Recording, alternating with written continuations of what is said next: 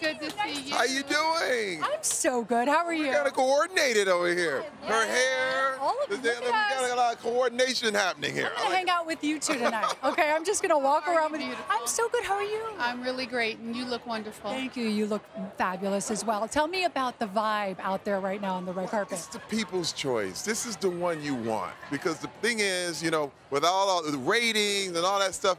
First of all, the people are the ones that matter. They're the ones that make you. It's everybody in this room is here to serve the people, and they have spoken tonight. We have spoken tonight. Yes. Now, AGT, we got to talk about AGT, America's Got Talent. We love the show. We love you on it.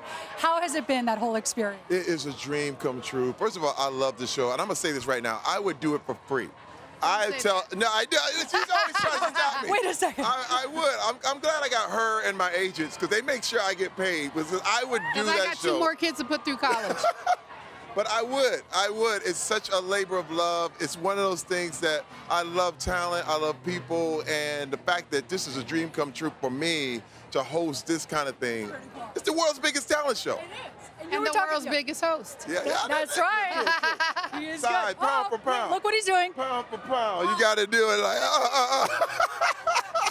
Before I let you go, TikTok. You joined the app TikTok? I did. I did. I got like 1.5 million followers in a week. I'm perfect for TikTok though. This this space was built for TikTok. I'm trying to tell you. It's like, yeah, you see that? Look at it. Look at this. this. You see, I can eat it up. First of all, I'm the biggest ham of all time, and she knows that. You guys are the best. Can I be best friends with you, please? I love I know.